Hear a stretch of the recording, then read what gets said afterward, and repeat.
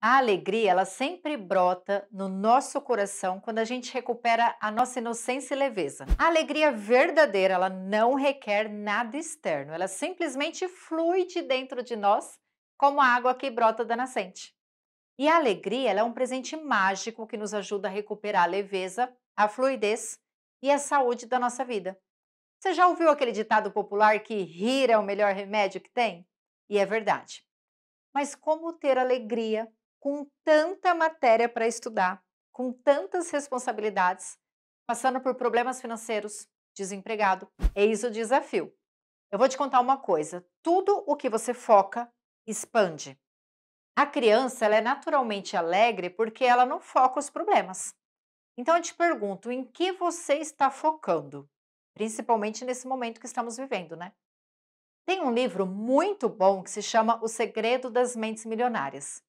E tem uma passagem muito interessante que diz que as pessoas ricas, elas acreditam que quando chega numa padaria, por exemplo, elas dão uma olhada lá na vitrine de doces e elas pensam assim: eu posso comer esse bolo e eu posso ter esse bolo inteiro.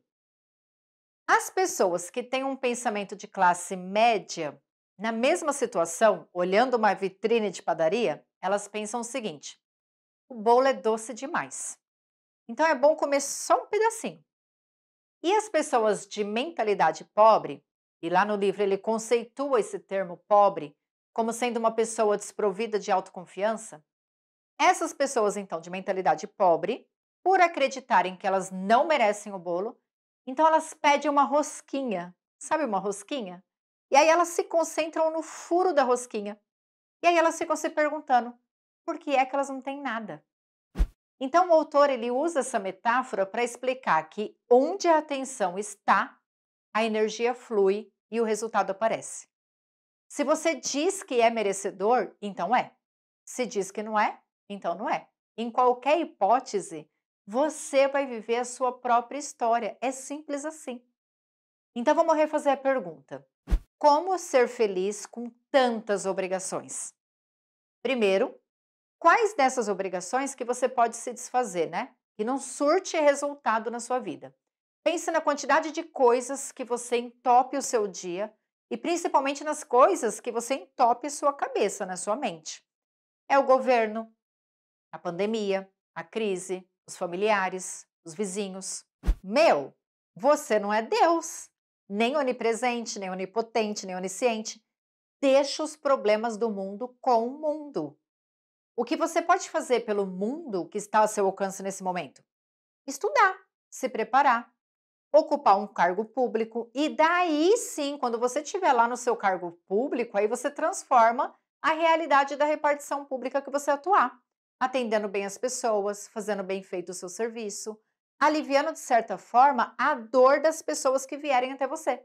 Mas nesse momento, ocupar a sua mente com um caminhão de problemas só vai tirar a sua alegria e te deixar cada vez mais longe de alcançar o seu sonho e de realizar a sua missão de vida, que pode estar sim num concurso público, ou o concurso ele pode ser só uma porta para o seu sonho.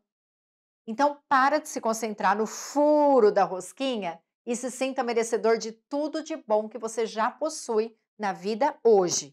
Enquanto você não provar para o universo que você é capaz de lidar com o que já possui, não vai ser dado mais para você. É assim que as coisas funcionam. Se você não é capaz de usufruir e ser grato pelo que já possui, por que você seria capaz de usufruir e ser grato por coisas que você ainda nem possui? Portanto, seja capaz de sentir a alegria brotando de dentro de você todos os dias. Abençoe aquilo que você deseja. Faça da sua rotina de estudos um ritual de alegria. E lembre-se, né? Se você quer alegria, não procure seu redor porque ela não está ao seu redor. Ela está e sempre estará dentro de você. Eu vim te dizer que chegou o momento ó, de secar suas lágrimas e abandonar o peso que você vem carregando pela vida. Deixa cair das suas costas o excesso de responsabilidade, a tensão, as preocupações da vida adulta. Deixa cair por terra as armaduras que você vem usando para se proteger e se reconecte com a pureza da sua criança interior.